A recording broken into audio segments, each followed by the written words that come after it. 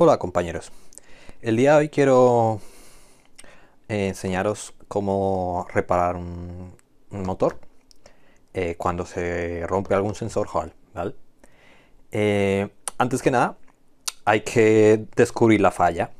Entonces la falla puede venir cuando el motor empieza a hacer sonidos extraños y por ejemplo como si perdiera una fase básicamente cuando pierdes una fase hace unas vibraciones muy extrañas, pierde fuerza y por ejemplo la medición de, velocidad del, manillar se vuelve un poco loca y básicamente no funciona correctamente. Una de las formas de probarlo, si, efectivamente es algún HAL que no funciona, es conectarlo eh, al patinete. No hace falta conectar no hace falta conectar ninguna de, las tres fases, solo conectar el, sensor Hall. Lo encendemos. Eh, no, hay, no hay error, apagamos. Giramos un poco. Y tenemos error 18. Giramos otro poco. Ya no hay error giramos otro poco. Y eventualmente tenía que saltarnos el error 18 de nuevo. He tenido suerte que me ha saltado en el primero. Ahí está, tenemos el error 18 ¿qué pasa? que en esta posición el hall que debería estar activado no se está activando. ¿qué quiere decir esto? o que tenemos un problema en el cable. Normalmente cuando los motores estos no se apretan bien a veces se rompe el cable por aquí y hace corto o directamente se abre el cable. Pero vemos que en este caso el cable parece estar perfecto. Así que yo en principio descartaría el cable. Así que muy probablemente sea un hole que se, que se haya o desoldado o se haya roto. Así que tenemos que desmontar el motor. ¿vale? Para desmontarlo eh, nos hace falta una llave Tor 20. En este caso es esta que uso, no sé si enfoca. TX20. Hay que limpiar toda la arenilla y toda la mugre que haya acumulado en los tornillos, ya que si estos tornillos se redondean, es muy pero muy difícil de sacarlos, ¿vale?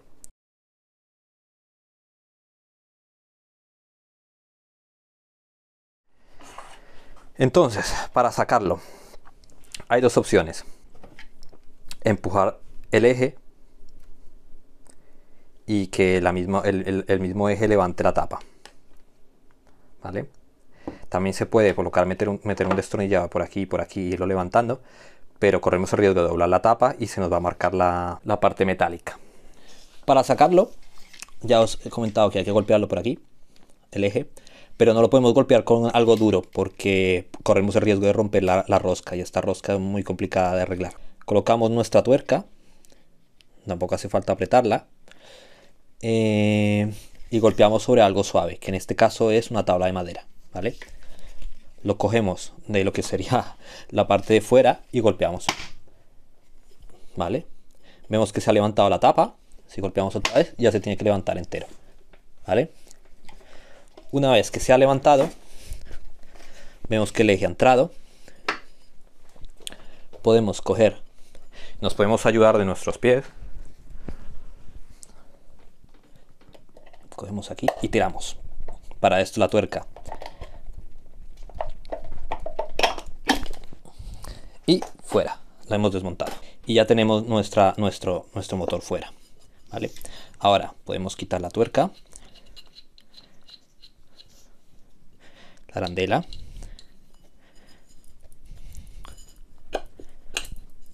Y ya podemos sacar. ¿Vale? En caso de que esto no saliera fácil, si esto se hubiera, quedado pegado aquí y, sería, sería muy difícil, tenemos que colocar esto en algún sitio que lo podamos atornillar y tiramos con fuerza de, la tapa hasta que abra. Ahora tenemos que comprobar cuál de los tres holes es el que está roto. ¿vale? Tenemos que hacer la prueba del imán. Entonces tenemos nuestro, nuestro imán eh, hay que tener en cuenta que tiene dos polaridades, el positivo y el negativo, y estos son sensibles solo a una de las polaridades. ¿vale? Entonces vamos a probar suerte con el del medio. Colocamos el imán en, el del medio y encendemos el patinete. Vemos que no hay error. En este caso hemos tenido suerte que hemos cogido un sensor Hall que está bien y, que hemos puesto el imán en la polaridad correcta. Si, colocamos el imán al revés, vemos que nos salta error. ¿Vale? Entonces ya sabemos que el imán tiene que ser en esta polaridad. Para evitar confundirnos, simplemente lo deslizaremos y no, no, lo despegamos para evitar. ¿vale? Sabemos que este sensor Hall está correcto. Así que vamos a probar, por ejemplo, este. Encendemos. No hay error. Perfecto.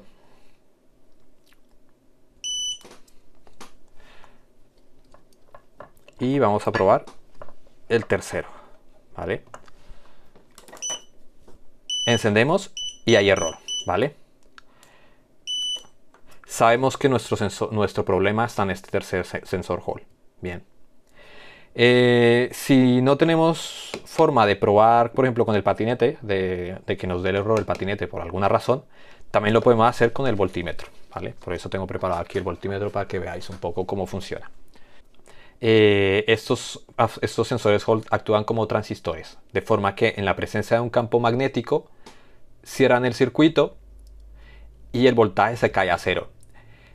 Y en caso de que no haya campo magnético, o sea, en la polaridad inversa, eh, lo que hace es abre el circuito y el pull-up se encarga de colocar los 5 voltios o los 3,3 voltios que, se, configuren en el circuito. Bien. ¿Cómo lo vemos aquí?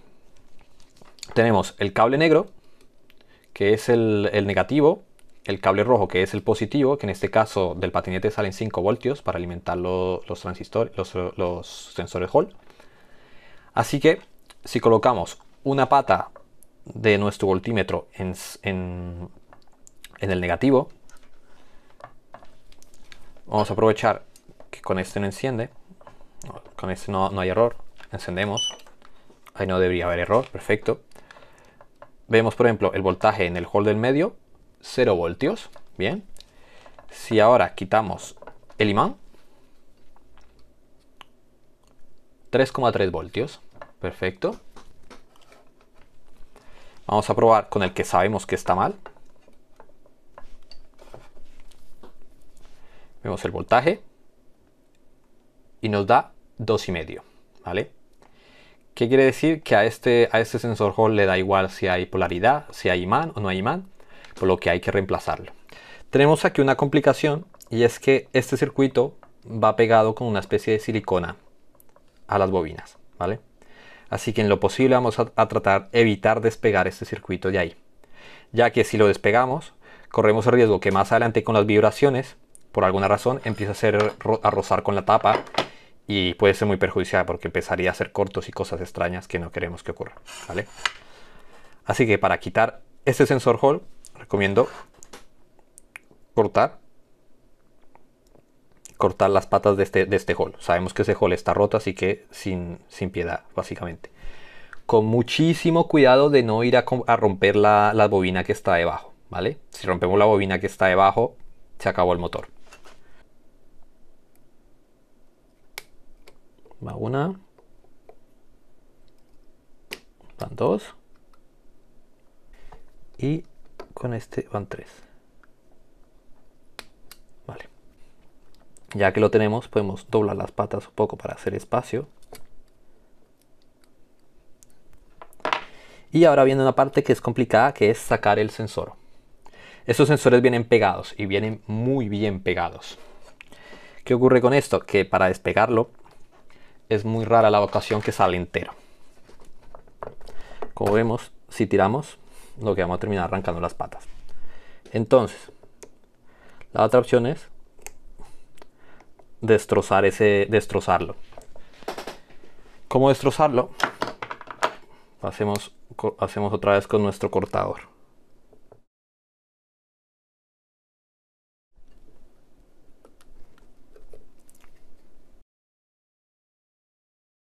Ya una vez que lo tenemos casi, casi fuera, ya todo el, todo el material del sensor Hall, utilizamos una cuchilla. De nuevo, con mucho cuidado de no romper nada más del motor queremos levantar todo el rastro del sensor Hall porque va muy pegado. Entonces, con esto simplemente vamos raspando, vamos raspando y tenemos la, la ventaja de que la cuchilla es lo suficientemente dura para levantar la, digamos que el plástico del sensor, pero no lo suficientemente dura para romperle el, metal, ¿vale? Entonces, con mucho cuidado vamos levantando lo que sería los restos del sensor, de forma que hagamos espacio para colocar el repuesto.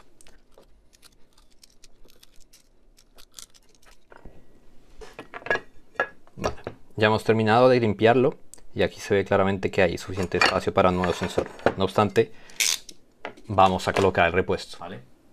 Eh, los sensores son los SS41F, eh, sensores Hall, o algún equivalente. En este caso voy a instalar un A3144, ¿vale? Son sensores digitales. Finalmente vamos a reemplazar nuestro sensor Hall, ¿vale?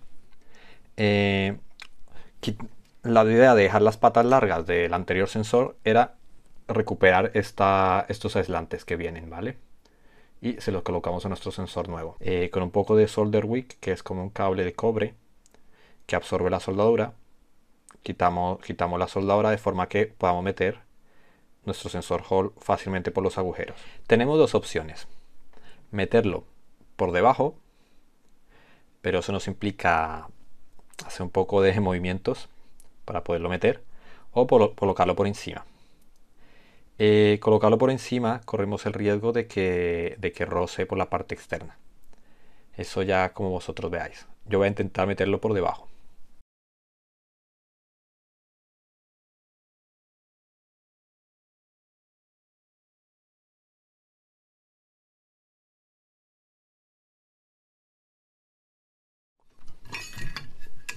Vale, finalmente con un poquillo de paciencia he logrado introducir el sensor Hall por debajo, ¿vale? Finalmente nos ayudamos de nuestra pinza y colocamos el sensor en su sitio.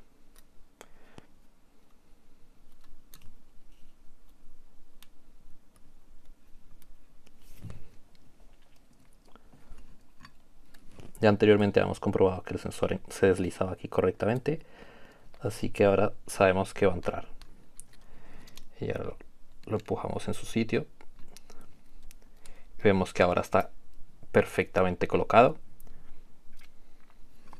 Y resta soldarlo de nuevo.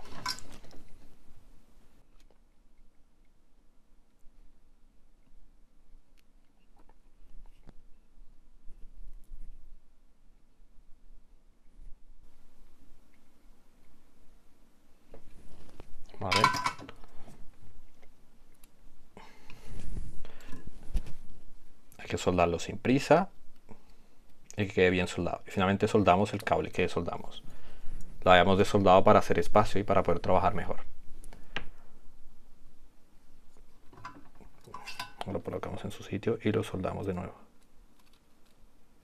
Que quede muy bien soldado porque si esto se suelta tenemos que desmontarlo otra vez. ¿Vale? Y ahora que lo tenemos todo en su sitio, todo soldado, Echamos un poco de, alcohol para limpiar el exceso de flux.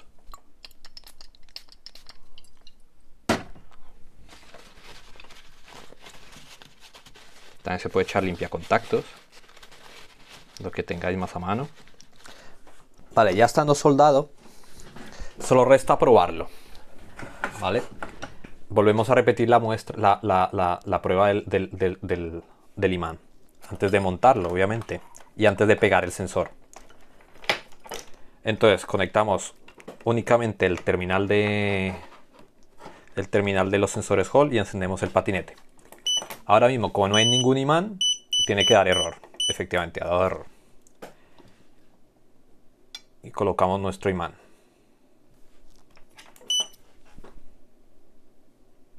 Y vemos que no hay error. Quiere decir que lo hemos solucionado. Ya una vez que hemos comprobado que funciona, tenemos que pegarlo. Podemos utilizar un poco de super glue. Yo utilizo este que viene como una brocha, que es muy práctico para muchas cosas. Levantamos un poquito la placa para que nos dé espacio de introducir el super glue. lo colocamos bien en su sitio y apretamos hacia abajo. Y ahora vamos a montarlo. Colocamos la tapa. Ponemos la arandela y la tuerca. No hace falta apretar la tuerca, simplemente con girarlo un poco, un poco con la mano que encaje bien es suficiente, ¿vale? Colocamos nuestra nuestro estator, nuestro, nuestros motores. Y ahora aquí hay que tener mucho cuidado. ¿Por qué? Porque cuando acerquemos el motor a, a los imanes nos va a pegar un tirón. Si cogemos esto de esta forma, seguramente nos vaya a pillar los dedos. En el mismo sitio, con los pies, apretamos a fondo para que no se levante y colocamos nuestra, nuestra tapa. Al estar sobre la madera, no va a permitir que el eje introduzca lo suficiente. De esta forma no nos vamos a pillar los dedos. Vais a ver por qué.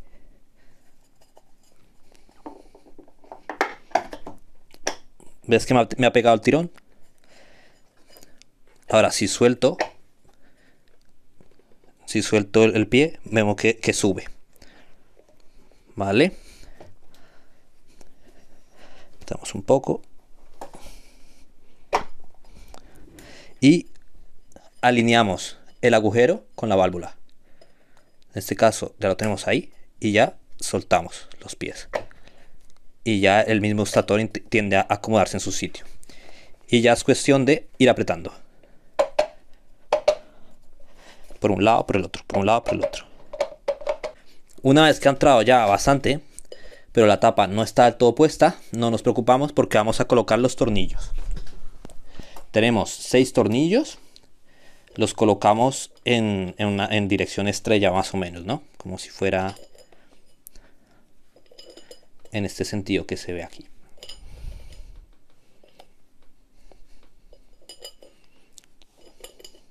¿Vale? Y los apretamos manualmente. ¿Por qué manualmente al principio? Para evitar dañar la rosca.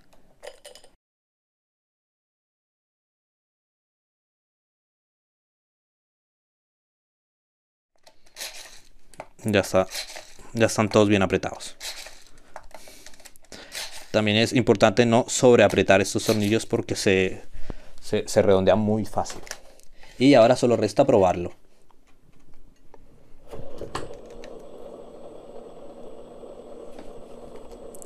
Ahí como lo tengo en eco.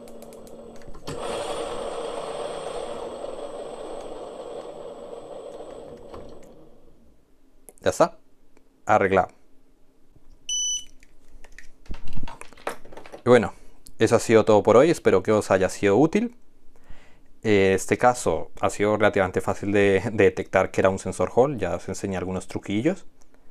Eh, a veces en lugar de quedarse en un voltaje fijo, se quedan en 5 voltios o se quedan en, en, 0 voltios. Así que al final tendréis que desmontarlo y medir con el, con el polímetro. Bueno, eso ha sido todo por hoy. Ahora sí, hace mucho tiempo no subía ningún vídeo porque estaba ocupado con mis asuntos y este año ha sido una locura por el tema este de la pandemia y todo. Espero que la cosa mejore. Hasta luego, colegas.